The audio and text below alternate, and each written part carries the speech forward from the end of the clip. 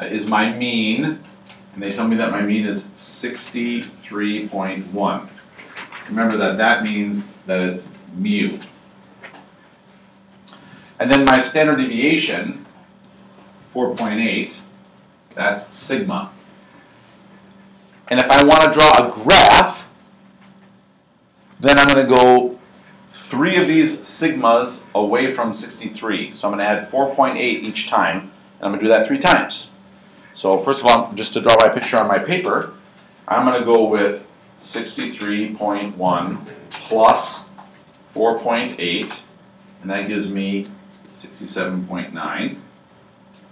And then if I go another standard deviation, so I add another 4.8, that gives me 72.7.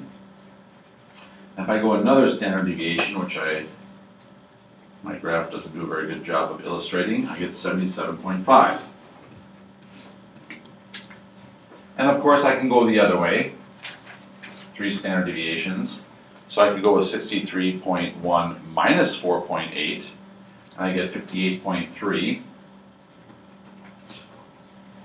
And then I can subtract off 4.8 again, and I get 53.5.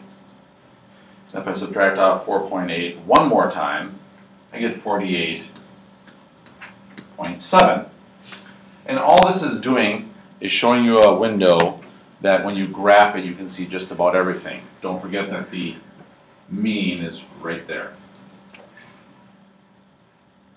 And what they want to know in this piece of information is what proportion represents the runners between 70 and 60 or 60 and 70. So I don't know exactly where that is looking at this picture. Again, it looks like 60 is somewhere in here, and 70 is somewhere in here, and I want this stuff. So there's the shaded amount.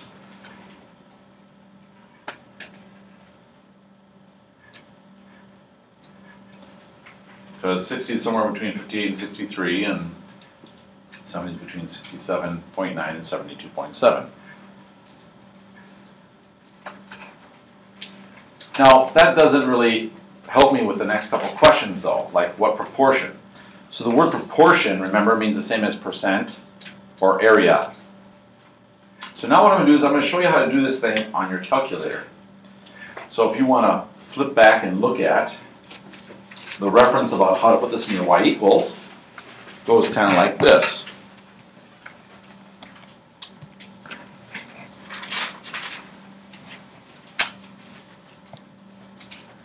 So you hit the y equals button, and then you want to get something that says normal PDF. So I go second. My second button is that yellow button. And then I want to go vars. And the vars button's right here. Right near the blue buttons, the arrow buttons. So I go vars. And the normal PDF is the very first thing, so all you have to do is hit enter. And then once you hit enter, you're going to enter in the letter X, which is right next to your alpha button on the left-hand side of your calculator. And then you're going to type in a comma. And then you're going to type in the mean. What was the mean for this particular problem? 63.1? Yeah? Okay. I'm trusting you. I, I don't know. Comma. And the standard deviation was 4.8. Thank you. Enter. What do you think I should do next for this problem?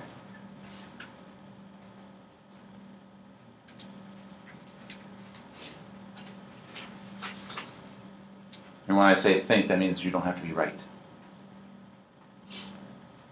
And if you're not thinking, then you're brain dead. What do you think we should do next?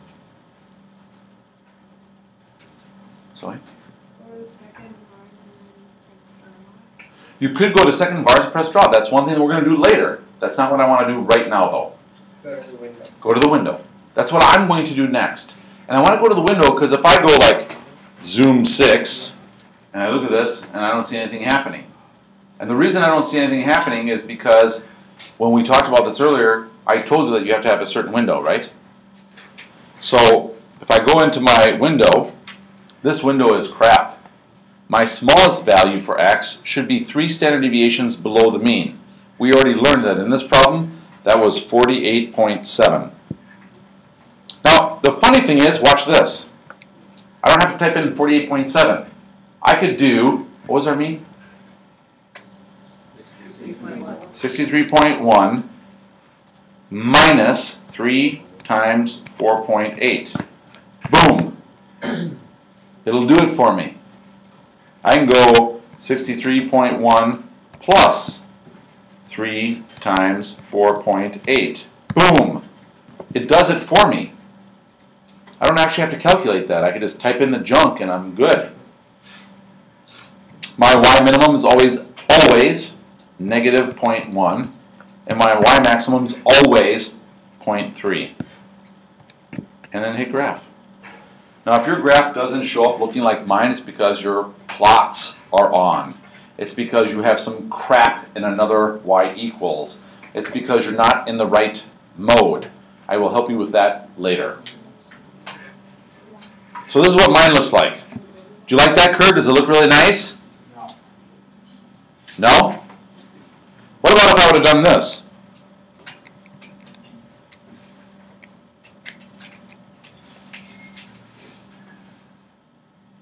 Do you like that better?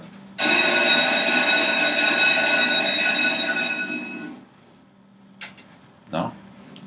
What if I, um, what if I did this?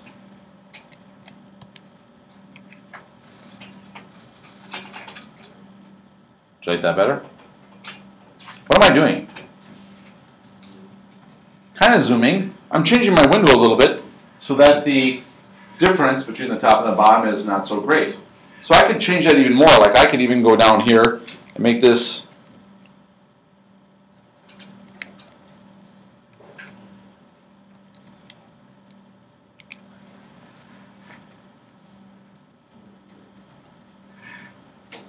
becomes more pronounced. Doesn't really matter, okay? What I'm trying to tell you is you can see in your window, but it's not as good as doing it by hand. Like, what's what sucks about this graph? You can't see the numbers. It's ridiculous. So that's why I do it by hand first anyways. Okay, so anyways, this is how you would graph it. Now I'm going to show you the next part. So the next part says, what proportion weigh between 60 and 70? It actually asks for the proportion. So here's the proportion. What proportion weigh between 60 and 70? So now we're going to go to our calculator. and I already have my picture. See it? Now I want you to go second, vars, draw. You should see the phrase shade norm. Enter. What's the smallest value I want to start at? 60, because I want to start at 60, comma. I want to go up to 70. My mean was 63.1, and my standard deviation was 4.8. So this is telling my calculator, look, go back to that picture we just put in for the y equals. Start at 60, go to 70, shade it, and I'm going to tell you that my mean and standard deviation are these two things, and then I hit enter. And the cool thing is, not only is it going to shade what they're talking about, but down at the bottom, they're also going to tell you what the proportion, area, or percentage is that was shaded. Awesome. Okay, so that part, I always use a calculator for. Love it. So 0.6655, and we used for that, oh, that's not a good color, sorry. We used shade norm 60, 70, 63.1, comma 4.8. and that equaled point six six five five. Or you could have written sixty-six point five five percent. Whenever you do this less than thing, and that's all they tell you is less than, what's the smallest weight you could be?